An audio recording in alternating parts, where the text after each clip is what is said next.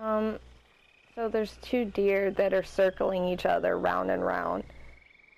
They're chasing each other. It looks really weird. Go in for a closer look. That'd be creepy.